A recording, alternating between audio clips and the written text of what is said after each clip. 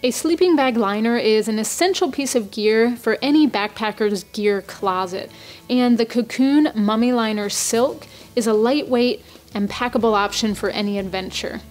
Now, this in particular is made out of 100% pure silk, so it's incredibly lightweight, it's incredibly packable, and very soft. So when you line your sleeping bag with it, it's really, really comfortable, as opposed to some of those materials that can be on the inside of sleeping bags. They might not be the most comfortable against your skin, but this is going to keep you nice and comfortable. And one thing I love about liners is that if you're backpacking all day, you're hiking all day, those oils from your skin and from perspiration are going to get on the inside of your sleeping bag. So if you're uh, backpacking with this, at the end of your trip, you can just take this out of your sleeping bag and wash it. So this is machine washable and it's going to help the longevity of your sleeping bag because you're not subjecting it to all of those washes.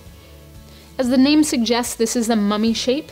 So up at the top, you do have a true hood there's a draw cord on one side that you can actually cinch that down. So like the hood of your mummy sleeping bag, you can cinch that down around your face if you want to, but it's really easy to just extend that out um, and use it more like a blanket if you need to. So that's a nice feature.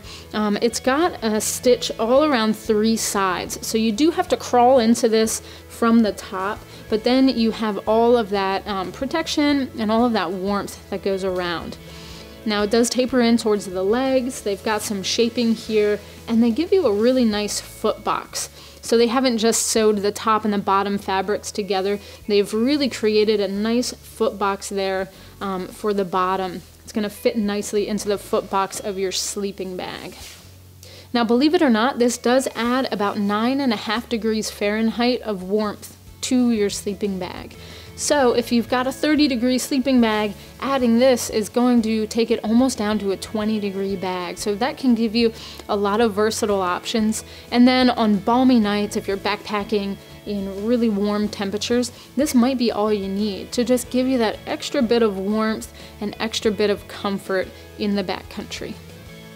The dimensions here are 95 inches long from the hood to the foot box and the widest part is about 35 inches wide. So you get plenty of room to move. It does taper down a little bit into the foot box, and this weighs under five ounces. So you can throw it in your backpack.